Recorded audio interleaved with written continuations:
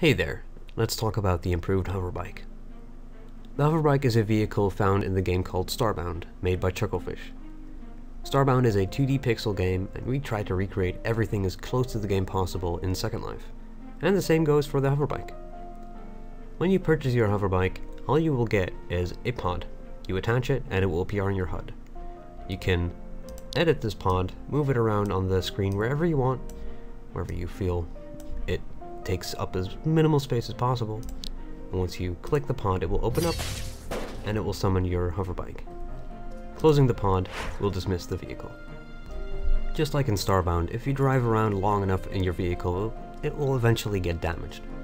The hoverbike will have three damage states, and then it explodes. This is damage state 1, having driven quite a little bit, and bumped into everything that I could. In the previous version of the hoverbike, on Second Life, damaging your vehicle meant the damage would last. Even when you dismiss your vehicle, and res it out again, it would remain damaged. And now, whenever your vehicle is completely broken, or whenever your vehicle is damaged, it will automatically heal itself. To repair your vehicle, you had to visit Rob Reparo, just like in Starbound. Rob Reparo still has a function though. Just like in Starbound, when purchasing your hoverbike, you have a choice of three colors. The khaki yellow that I just showed, the green, and the red. So let's take a look. We first make sure the pot is closed. And we click on Rob Reparo. And of course we have to move closer. Oh god. There we go. Perfect. When opening up the menu at Rob Reparo, you have the choice between, well, a lot of colors. Here we have the khaki yellow, we have green, we have red, and you even have a second page. Cyan, white, gray, black, white Avali, and black Avali. You can even submit your own custom UUID. And of course the um, UV map and a default texture is supplied in the product should you want to change the colors or add prints to it yourself. Just clicking on it will require the key, you just upload the texture, copy and paste the UUID of the texture in there, and it will all work out. For the sake of showing how things work, I'll just click on green. That's my favorite color. Click on submit, and you'll see the pod change color. And let's take a look. Perfect. Here we are at a nice little sandbox. It's a little bit small, but I think it will manage for the display of the hoverbike. Now before we do anything, we of course have to res out our hoverbike. And you can go sit in it. You will notice a little dashboard HUD will pop up. This dashboard HUD allows you to uh, control the vehicle from third-person view. If you go to mouse look or first-person view, you will notice the dashboard vanishes. It's because you can't click it, but also because everything that you need is right here. You have your ignition key, your light, uh, and you have your shift. So going back to third person, which is the easiest way to control this car, the least fun, but the easiest, um, we have to start the hover car to be able to do anything. So click the ignition, and yeah, there we go, it started. However, I'm still not able to move at all. That's because we're in neutral. Now, you don't have to have a driver's license in order to drive this, but neutral just means that you're not able to move at all. So let's kick it up in first gear. There we go. First gear is rather slow, and you can see the accelerometer down here. It's rather slow, but it has a lot of control. This is lovely for when you're driving around in a little city or a town, pretty much a place with tight spots. If you want to have a little bit more speed, you can go in second gear. Second gear allows you to have more speed at the sacrifice of a little bit of control. There we go, the accelerometer is able to even fully max out, but our control is um, a little bit affected by it. But if you do some practice, you can still get around tight corners uh, with a uh, nice amount of speed.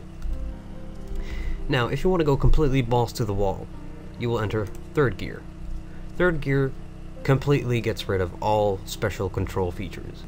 There is no damping, um, the only thing that is stopping you is friction, but you just go. and you will keep going. So if I were to stop doing anything right now, you can see I'm still gliding. Still quite at the same speed. The only time I actually do slow down is because of bumping on the ground and so whatnot. And whatnot. Okay. This is my favorite gear by far. Because what you can do in this is get on ramps. And do some cool flips and whatnot. Sadly, I don't have a lot of space here, else I could show you some uh, some cool tricks. It's kind of something you have to get used to at first, but when you're used to it, you can do a lot of nice stuff. You are able to tip your hoverbike backwards by pressing crouch, or C, or page down, whatever the key is for you. This is lovely to get up on ramps. However, we are not able to tip forward. We replace that feature by adding a jump. That is the E key, or the page up, or whatever else you use for jump. Perfect. So, uh, yeah, if you go up a ramp, I would suggest to always lean back to lose as little momentum as possible. And of course the jump is going to be lovely to uh, get up on places that you normally can get up to. Ah. Oh, oops. That was a little bit too hard of a bump. Well, that segues in lovely to our uh, next topic. As I mentioned before, or may have mentioned before, I'm not sure how much I cut from this video, um, your hoverbike is able to take damage, and you can see a little bit of wear and tear. The windshield is broken, and uh, there's some uh, paint missing here and there. Whenever you damage your vehicle, it's no problem. You can fix it easily by re-resing the vehicle, but it just adds some uh, some nice little feature, some roleplay element to the whole hoverbike. Alright, that did it.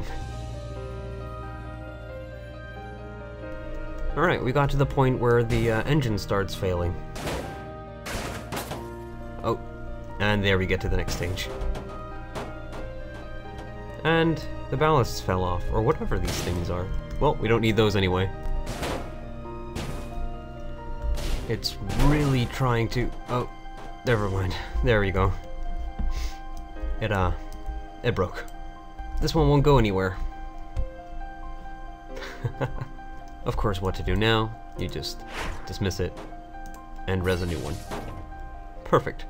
Another neat little feature is the radio.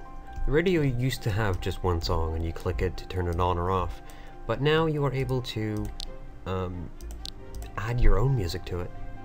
Here you see a few note cards, and there's very simple note card form um, music players. When you click on it, it will bring up the um, the radio, and then you can go through the list of tracks, and if you find one that you like, I'll just put it on track number one. It'll start loading, you hear the static sound. There we go. And the music is playing.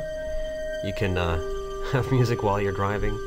Uh, and if you wish to change the channel, you can always just go click the forward or back button that was it for the Hoverbike. Go, uh, go try it out. Go feel for yourself. It's a lovely vehicle to drive and it's much fun, especially going into a crash derby with your friends. So yeah, thank you for watching and I hope I covered everything here.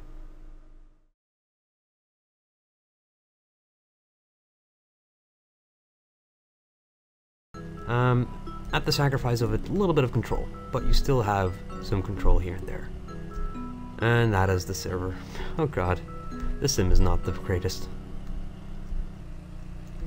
As you can see, I'm maxing out the velocity gauge over there. If the sim would not poop, there we go.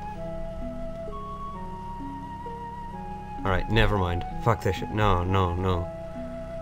Bullshit. Ugh.